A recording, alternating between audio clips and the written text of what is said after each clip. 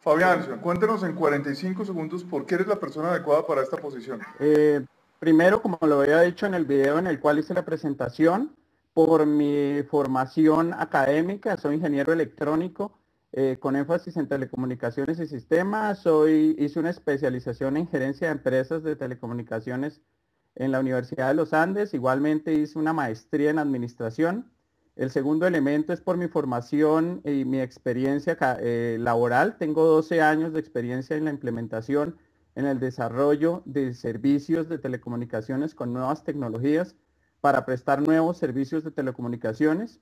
Y el último elemento es que esta experiencia me da eh, una muy fuerte eh, formación en la implementación, en la apropiación de nuevas tecnologías para prestar eh, servicios, bien sea a usuarios finales, a usuarios corporativos, y considero que todos esos elementos me dan una fortaleza para, para optar y para ser el mayor opcionado para ocupar el puesto de CTO. Un elemento que me parece muy importante es saber incluir en, todos los, eh, en todas las nuevas tecnologías, todos los nuevos conceptos que se manejan hoy en día, como los conceptos de Government 2, Cloud Computing, todos los, todos los proyectos y todas las ideas para reciclar todos los desechos tecnológicos y me, esos elementos los he apropiado en, todos los, en, toda la, en toda mi trayectoria laboral. Fabián, eh, ¿Cuál ha sido tu logro profesional más importante? Eh, cuando trabajé en EPM Bogotá fue el líder de implementación del proyecto de Internet banda ancha aproximadamente en el año 2003 y eh, considerando que ese proyecto atravesaba toda la organización, tuve que interactuar con todas las personas de todos los niveles, con las personas de todas las diferentes áreas técnicas, regulatoria, de procesos, corporativa, y con la casa matriz. Eso me dejó un bagaje muy importante a nivel eh, laboral, me maduró profesionalmente y considero que me aportó para toda la eh, estructura y todo el perfil que tengo hoy como profesional en todo el área de tecnología. Eh, ¿Y cuál fue esa meta que cumpliste en, en EPM Bogotá en ese, en ese programa de Internet de banda ancha? Exactamente cuál fue ese logro. Eh, el logro fue eh, ser el líder de la implementación del proyecto en un promedio, en un periodo de tiempo de aproximadamente un año y medio y eh, poder cumplir con el cronograma de implementación y de puesta en servicio de la nueva tecnología.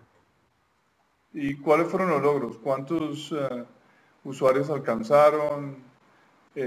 ok, la inversión fue aproximadamente 2.500 millones de pesos en el primer año y el presupuesto para el año 2004 era aproximadamente mil eh, usuarios de banda ancha. Obviamente hay que considerar la magnitud de EPM Bogotá, considerando que no es un operador eh, con una posición importante, con, un, con una eh, participación de mercado importante en Bogotá, pero el, el, presupuesto, digamos, daba para que a los cinco años del proyecto los ingresos de la compañía eh, por los servicios de banda ancha fueran eh, de aproximadamente el 20% de, de, los ingresos de la compañía.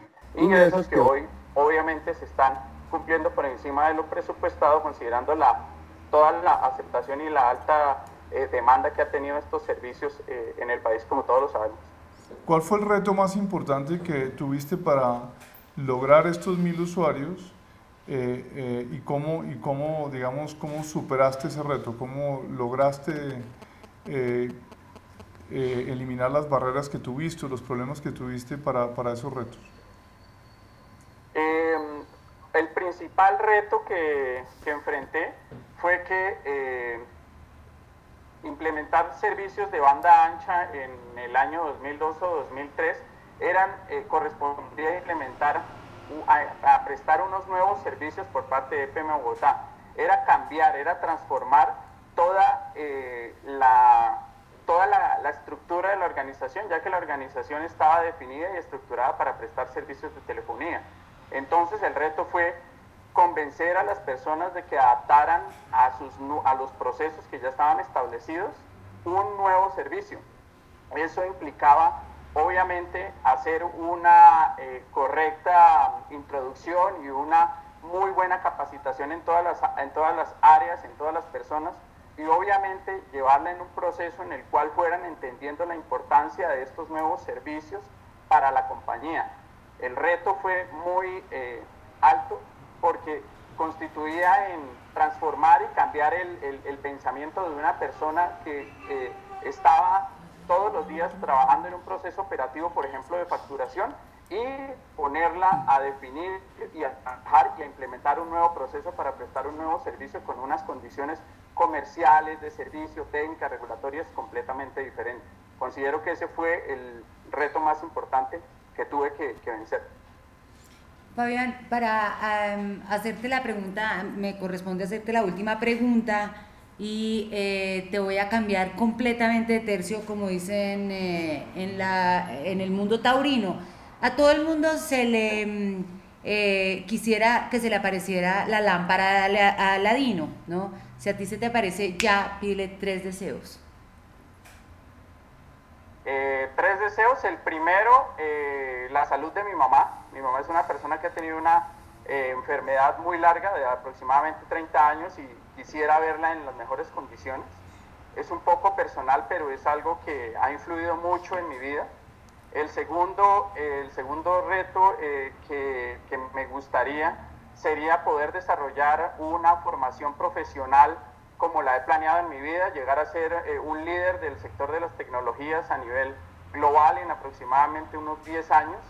Y eh, el tercero tiene que ver con, con, con mi familia y con, con, la familia que pienso crear y que pienso desarrollar en toda mi vida. Esos serían como los tres, eh, los tres deseos que quiero en este momento. Fabián, muchísimas gracias por tu tiempo, muchas gracias por participar en todo este proceso eh, que ha sido pues realmente muy interesante. Estamos aprendiendo todos en el gobierno a este tipo de cosas, eh, a, hacer, a utilizar las redes sociales para seleccionar el talento Hemos encontrado que en Colombia hay muchísimo talento y tengo de, para terminar dos, dos, preguntas muy rápidas de forma. Uno, eh, ¿te importaría, dado el caso de que no fuera seleccionado para el sitio del ministerio, eh, ocupar esta misma posición en otro ministerio o en otra entidad del Estado? Sí, obviamente estaría dispuesto, eh, considerando la, digamos, toda la, todo lo que implica ser un CTO, no, sé, no solo, digamos, en la demanda de servicios que necesitaría el ministerio, sino en cualquier otra entidad del Estado. Me parecería un, reto muy importante y estaría dispuesto a asumirlo. Y la última pregunta es si tú tienes alguna pregunta. Eh, sí, me gustaría saber qué tanto tiempo toma la definición de este proceso. Eh, espero que unos 90 minutos. Ah, más perfecto. Perfecto. Bueno, muchísimas gracias. Hasta bueno, luego. Muchas gracias a ustedes.